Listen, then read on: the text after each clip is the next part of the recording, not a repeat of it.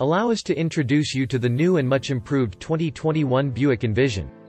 Don't let the handsome shape and sharp design fool you. This compact crossover is a Buick. The Envision has been a frumpy and rather boring-looking crossover since its launch for the 2017 model, and now GM has remedied that sticking point. This new made-in-China crossover is full of sharp edges, muscular lines arcing through the body and crisp lighting fixtures. It's verging on European in nature.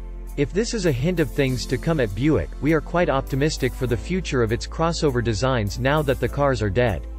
The 2021 Envision will be lower and wider, with premium proportions and striking styling designed to combine the expressiveness of a car with the practicality of an SUV, said Helen Emsley, Executive Director, Global Buick and GMC Design.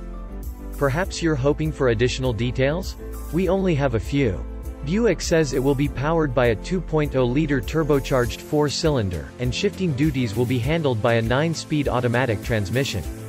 It's likely the same 2.0 turbo that makes 252 horsepower and 295 pound-feet of torque in the outgoing Envision.